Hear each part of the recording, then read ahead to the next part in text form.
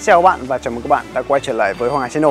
Trước khi bắt đầu video này, các bạn hãy nói cho mình biết uh, xem là cái điểm mà các bạn ấn tượng nhất với cái thế hệ iPhone 14 năm nay đó là gì? Hãy để lại dưới phần comment. Và còn với bản thân mình ấy, thì thật sự mình ấn tượng với Dynamic Island Có rất nhiều điều để nói về cái đảo động này của Apple. Có những người không thích và có những người thì cực kỳ thích nó.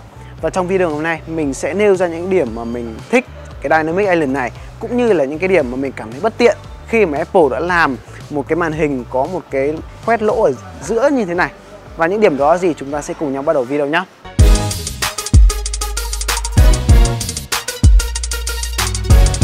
Còn nhớ từ những cái chiếc iPhone 10, Apple đã giới thiệu cho chúng ta một cái chiếc màn hình có chứa nonce hay anh em vẫn gọi chung là tai thỏ. Và từ đó trở đi thì chúng ta có những cái biến thể khác từ các nhà sản xuất Android, ví dụ như là màn hình giọt nước, giọt xương. Chung quy lại thì vẫn là những cái biến thể nhằm thu gọn cái tai thỏ này lại để nó không phải là một khiếm khuyết khó chịu đối với người dùng.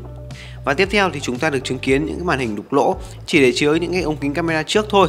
Tới cái thời điểm hiện tại thì mình nghĩ đây vẫn là cái biện pháp tối ưu nhất vừa ít gây ảnh hưởng đến cái trải nghiệm sử dụng và cũng không gây ảnh hưởng tới chất lượng của camera trước như việc ẩn nó ở phía dưới màn hình. Nếu như các bạn nói rằng những cái nhà sản xuất Android đi copy từ Apple thì mình nghĩ là đúng, nhưng Android phát triển rất là nhanh, bằng chứng là những cái biến thể mình đã nêu ra trước đó. Còn với iPhone, chúng ta lại có những cái bước tiến rất là nhỏ giọt qua từng năm. Cụ thể hơn thì năm 2022, chúng ta được chứng kiến sự xuất hiện của Dynamic Island.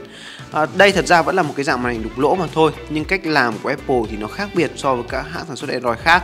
Với Android, họ coi vị trí đục lỗ đó là một cái điểm đặt camera trước và có thể gọi là cái điểm chết bởi mọi hãng sản xuất thì đều không muốn người dùng chú ý đến nó. Còn với iPhone thì câu chuyện này đi theo cái hướng ngược lại. Apple làm animation, Apple làm những cái thông báo liên quan tới cái đảo động này để người dùng phải chú ý đến nó như một điều hiển nhiên.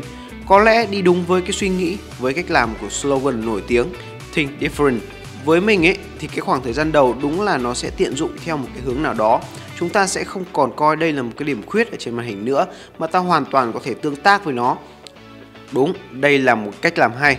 Thay vì chối bỏ thì ta nên đối mặt với sự thật rằng màn hình có điểm khuyết và biến nó thành cái điều gì đó vui vẻ hơn. Đó là những cái điểm mà Apple muốn hướng tới người dùng và rõ ràng thì đây cũng là cái điểm duy nhất để phân biệt bạn đang sử dụng iPhone 14 Pro nhưng sau đây mình sẽ nêu cho các bạn những cái điểm mà mình không thích khi mà có Dynamic Island. Đầu tiên, đó là việc phải tương tác với cái đảo động này, khiến cho mình phải lau camera trước nhiều hơn. Thật sự thì khi mà sử dụng, bạn sẽ không thể tránh được cái việc bám vân tay lên màn hình. Nhưng mà từ ngày sử dụng Dynamic Island thì mình phải lau camera trước nhiều hơn, và đó là cái bất tiện thứ nhất. Bất tiện thứ hai, đó là các bạn sẽ nhận thấy khi mà xem video. Sau đây thì mình sẽ mở thử một đoạn video trên cả hai thiết bị có sử dụng non cũ và Dynamic Island trên iPhone mới. Thật sự thì mình quen với cái non cũ này hơn và nếu như mà mình để cái layout của cả hai cái thế hệ iPhone chồng lên nhau thì Dynamic Island sẽ chiếm nhiều diện tích hiển thị hơn ở trên màn hình so với thế hệ cũ. Vậy thì theo các bạn, đây có phải là cái sự cải tiến hay không? Với mình thì cái điểm tích cực nhất đó là việc Dynamic Island hiển thị được cái trình phát nhạc và thời lượng pin. Đó là hai cái điểm mà mình cảm thấy nó gần gũi cũng như là mình hay sử dụng nhất. Còn lại thì cái đảo động này thực sự là cái cách làm khác biệt của Apple so với các hãng sản xuất Android khác trên thị trường. Thay vì giấu đi thì Apple biến một cái điều hiển nhiên trở thành một thứ gì đó đặc biệt khiến người dùng phải chú ý, phải đề cập đến nó. Một cái cách làm rất là ấn tượng của Apple. Tuy nhiên vẫn có những người thích và có những người không thích và còn rất nhiều những cái ý kiến xoay quanh cái vấn đề làm mới này của Apple. Vậy thì ý kiến của các bạn như thế nào? Hãy để lại comment phía bên dưới và đừng quên bấm like, bấm subscribe cho Hoàng Hà Channel nhé.